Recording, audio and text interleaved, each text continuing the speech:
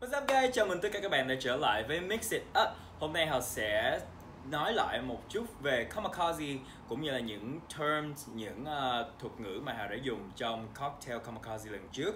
Uh, một Cũng như là một chút ôn lại về Orange Liqueur Serve Up hoặc là những sự khác biệt về liquor và liqueur là gì?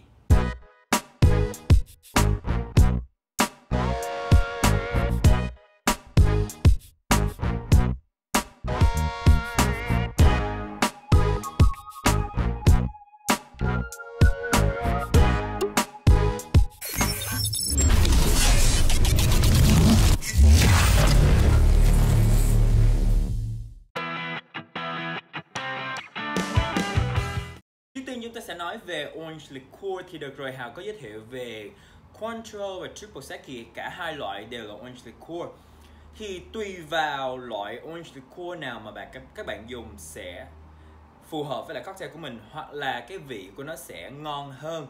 Triple Sec có thể coi như là một loại basic và simple orange liqueur mà các bạn có thể tìm thấy ở ngoài thị trường. Cointreau là một loại có thể nói là khá tốt hơn là Triple Sec hoặc là các bạn có thể tìm được Grand Marnier là một loại nữa về orange liqueur và nhiều nhiều nhiều nữa các bạn có biết sự khác nhau giữa liqueur và liquor không? Nếu như các bạn biết, đừng quên để comment below cho Hào để Hào có thêm sự tương tác với cả các bạn nhé.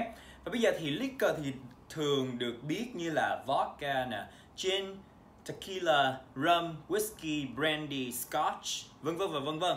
Còn liqueur thì thường được hiểu như là những loại rượu cũng được trưng cất nhưng mà những loại rượu này thì được sẽ thêm vào uh, trái cây nè hoặc là thảo mộc hoặc là thực vật tùy vào nhà sản xuất.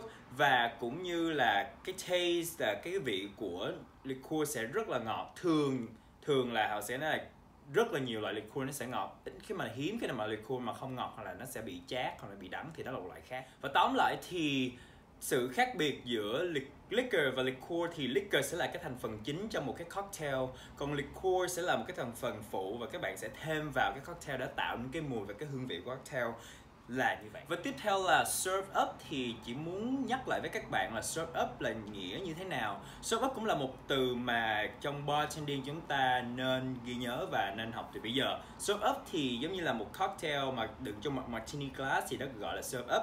Có những loại cocktail mà khi các bạn gặp uh, những người khách mà họ biết là đó là loại cocktail mà nó serve ở trong cái uh, có đá trong những cái ly có đá thì họ không muốn vậy, họ nói các bạn là serve up thì có nghĩa là họ muốn để cái cocktail ở trong martini glass và không đá thì là serve up.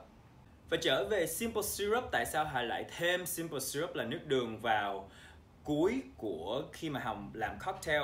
Lý do là sẽ có rất nhiều tranh cãi là sẽ không có nước đường và cái cocktail cơ bản là sẽ không có nước đường. Hoặc là sau này các bạn sẽ thấy hào làm những cocktail khác, hào thay thêm một chút nước đường vào. Không nhiều, nhưng mà chỉ một chút thiếu thôi lý do tại sao? Tại vì nước đường sẽ là một cái yếu tố để làm hòa quyện tất cả các loại cocktail lại với nhau. Ngày hôm trước thì hào ra một quán bar và hào có order cái kamikaze. Thì sau khi mà taste cái kamikaze đó thì nó rất là chát. Đồng ý là cái vị, cái hương nó ở đó. Nhưng mà họ biết chắc chắn là người ta không bỏ nước đường vào là tại vì họ chỉ theo cái bài bản của kamikaze là nước chanh, vodka và orange liqueur thì tất cả những cái thành phần này á, thì nó chỉ toàn là rượu rượu và nước chanh. Thì cái taste mà mình có lại cuối cùng sẽ rất là chát.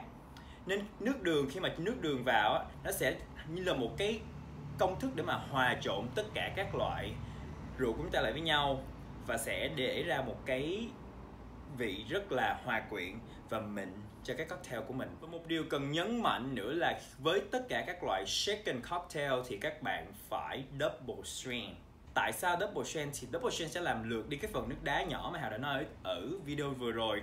Và cũng là một cái quan trọng nữa tại vì khi mà các bạn serve up cái cocktail á thì đó là một cái cái cái mỹ quan mà mình nhìn vào cái cocktail á thì nó sẽ không có những cái miếng nước đá nhỏ nổi lềnh bình lềnh bình đúng không? Thì sẽ làm cho cái cocktail của mình nó đẹp hơn và sẽ không làm cho cái cocktail của chúng ta bị hòa tan với những cái loại nước đá nhỏ đó thì làm sẽ cho cái vị của nó bị biến đổi, sẽ bị watered down, có nghĩa là bị loãng cái cocktail của mình thì sẽ không còn ngon như lúc đầu nữa và đó là tất cả những gì, những tips mà Hào muốn gửi đến cho tất cả các bạn như là lời hứa vào mỗi thứ sáu hàng tuần Hào sẽ có một cái video làm để nói về những bài cocktail lần trước mình Hào đã thực hiện ở quầy bar hoặc là mở rộng thêm những kiến thức và những câu hỏi các bạn đặt ra cho Hào nếu các bạn yêu thích kênh youtube này đừng quên nhấn nút like, subscribe và chia sẻ rộng rãi nhé. Cũng như đừng quên để lại những comment và những câu hỏi các bạn muốn đặt ra cho Hào. Xin chào tạm biệt và hẹn gặp lại các bạn ở tập tiếp theo của Mix It Up.